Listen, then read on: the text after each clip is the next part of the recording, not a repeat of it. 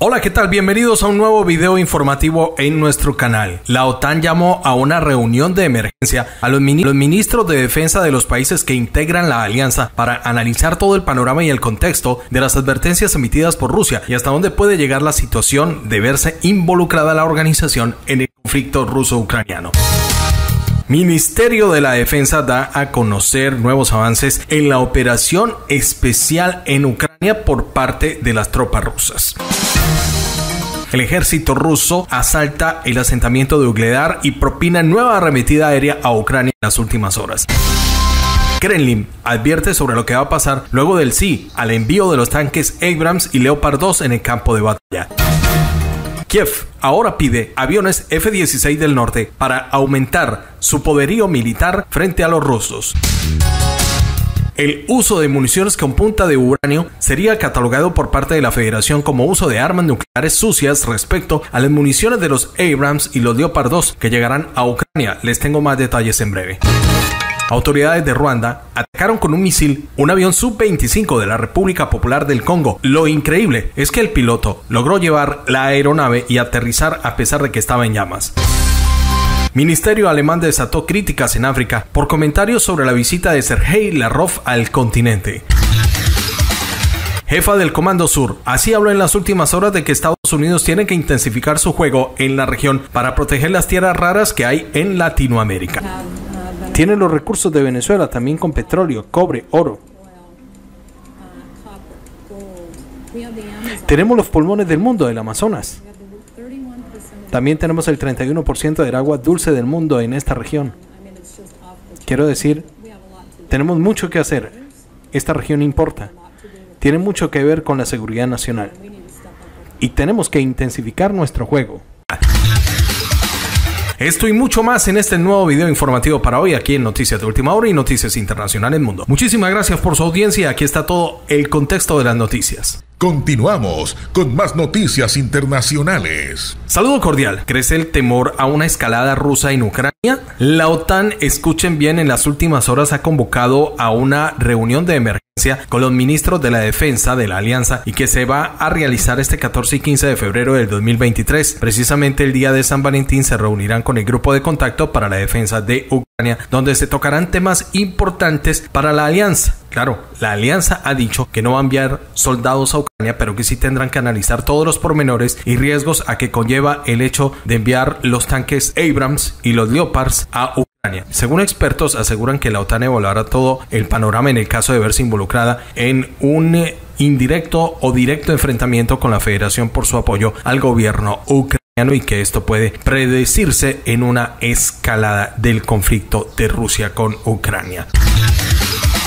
Luego de los anuncios de Alemania y el norte de empezar a enviar los tanques Leopard 2 y los Abrams M1 a Ucrania, las tropas rusas realizaron nuevas arremetidas en el territorio de Zelensky. Y el mensaje claro de Moscú es de que arderán los Abrams y los Leopard serán chatarra en el campo de batalla. Todo indica que la Federación lanzó cohetes contra infraestructura eléctrica y militar en respuesta al apoyo de cooperación de Occidente con Ucrania. O porque en las últimas horas desde el Kremlin le han enviado un nuevo mensaje a la OTAN y a Biden, de acuerdo a lo planeado por Occidente de seguir con los apoyos financieros y militares para Zelensky. Los objetivos de Rusia en Ucrania se van a ver ampliados en territorio por medio de la operación militar que llaman en Rusia o invasión, como lo llaman en Kiev y en Occidente. Según la información que están entregando medios eslavos como TASS y RT, se habla que han sido varios los blancos de la ofensiva rusa en las últimas horas. Estamos hablando de blancos en Liov, en Minitsa, Nikolaiv, Odessa, Nipior y Zaporilla.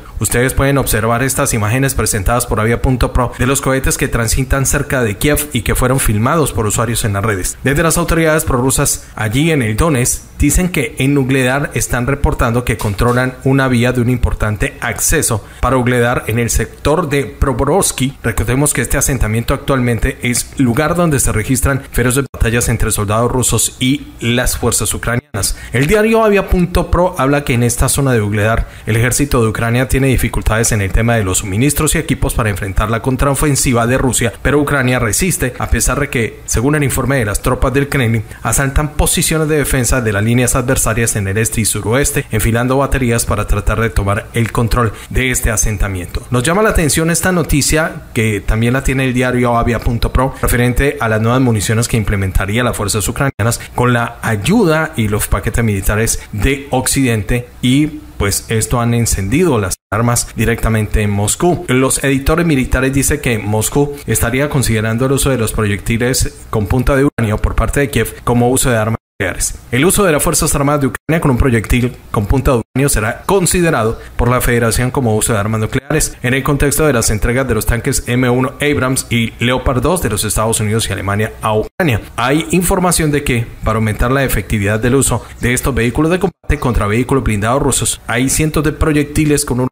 Las propinas también se transferirían a Kiev. Estos últimos brindarían, según Avia.pro, una alta penetración de la armadura y garantizarían que alcanzarían cualquier objetivo que esté protegido. Sin embargo, Moscú ha declarado que considera el suministro de tales municiones a Kiev como el uso de bombas nucleares sucias, lo que permitiría a la parte rusa armar armas nucleares tácticas como respuesta al menos potencialmente, como lo demuestra la doctrina militar rusa, es decir, hacerlo recíprocamente. Cito la respuesta de la Federación a estas hipótesis. Advertimos a los patrocinadores occidentales de la maquinaria militar a Kiev que no fomenten las provocaciones y el chantaje nuclear. Sabemos que los tanques Leopard 2, así como los vehículos de combate de infantería Bradley y Marder, están armados con proyectiles perforantes con Sabot con núcleos de uranio, cuyo uso conduce a la contaminación del área, como sucedió en Yugoslavia e Irak, dijo Konstantin Gavrilov, jefe de la delegación rusa en el foro de la OXE para la cooperación de la seguridad en Viena. Según los editores del diario, no se ha identificado hechos reales de contaminación por radiación después del uso de estas municiones, sin embargo, las barras de uranio pueden causar ciertos riesgos que obligaría a Occidente a Kiev a pensar si Rusia debe ser desafiada de esta manera y que buscaría obviamente una medida recíproca en caso de comprobarse esta nueva fase que expone la federación.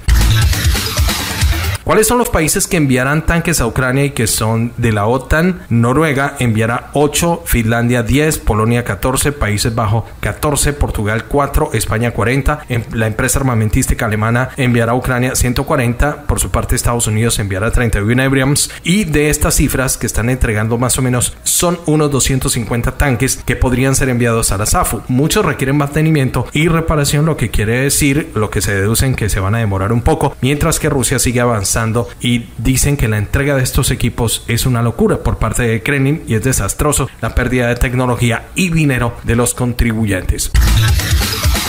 Hola, pero escuchen porque luego de conseguir que le envíen los tanques, Zelensky ahora está pidiendo que le envíen aviones F-16 a Ucrania. Desde la OTAN ahora ambiciona Zelensky a tener aeronaves de combate. La clave ahora es la velocidad y los volúmenes, pero dentro de todo el apoyo aéreo, lo que ha dicho el gobierno ucraniano, que está pidiendo misiles y aviones de largo alcance al Pentágono y a la OTAN, especialmente los F-16. Desde Ucrania están solicitando estos aviones de cuarta generación F-16 al norte. Según funcionarios del gobierno Dicen que si los consiguen, las ventajas serían inmensas según Oleksiy Reznikov. Como quien dice, ya le cogieron la perlita a la OTAN para los suministros a Ucrania. Expertos en Londres dicen que los F-16 sí ayudarían en términos de letalidad aire-aire, pero que los aviones estarían en un riesgo por los misiles tierra-aire rusos, por los que serían obligados los F-16 a volar muy bajo, cerca de la línea del frente, lo que reduciría drásticamente el alcance efectivo de los misiles y limitaría las opciones de ataque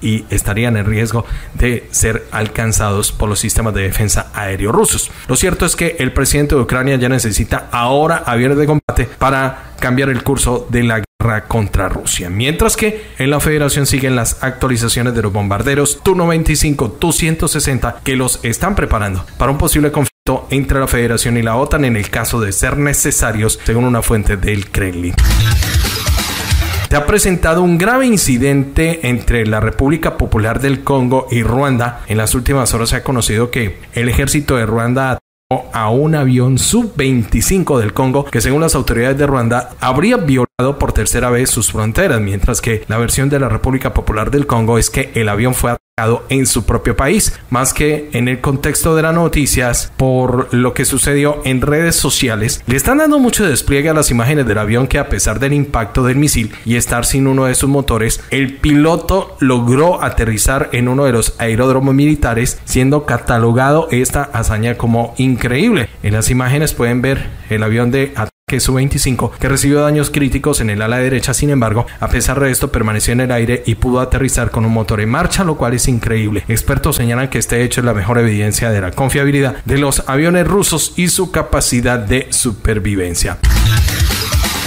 Ojo a este dato, Berlín se echó encima a la diplomacia de África en las últimas horas y todo por la visita que está realizando el ministro de Exteriores de Rusia, Sergei Lavrov, a este continente de la Unión Africana. Resulta que en eh, las últimas horas recientemente el Ministerio de Exteriores de Alemania, en tono sarcástico, dijo que la visita del alto cargo ruso de Lavrov a África era para denunciar que los socios de Ucrania quieren destruir todo lo ruso y no ver los leopardos. Seguramente el comentario era dirigido por la entrega de los leopardos a Ucrania y lo tomaron contra la ROP, pero no pensaron las críticas que a esto conllevaría a nivel de toda la Unión Africana. De hecho, en este continente lo tomaron como una molestia y burla hacia esta misma comunidad. De hecho, han expresado desde las diplomacias en este continente que este estereotipo no ayudará a Occidente a encontrar socios fiables en la región.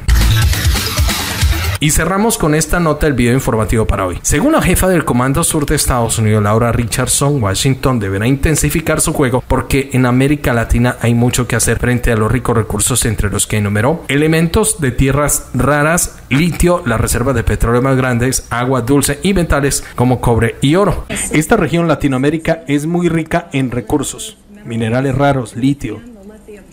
El triángulo de litio en esta región hay muchas cosas que esta región tiene para ofrecer. Pero ¿por qué es importante esta región? Con todos sus ricos recursos y elementos de tierras raras. Tienes el triángulo de litio que es necesario para la tecnología actual. El 60%, el 60 del litio del mundo está en el triángulo de litio, Argentina, Bolivia, Chile. Tienes las reservas de petróleo más grandes. Crudo ligero y dulce descubierto en Guyana hace más de un año. Tiene los recursos de Venezuela, también con petróleo, cobre, oro. Tenemos los pulmones del mundo, el Amazonas. También tenemos el 31% del agua dulce del mundo en esta región. Quiero decir, tenemos mucho que hacer. Esta región importa. Tiene mucho que ver con la seguridad nacional. Y tenemos que intensificar nuestro juego.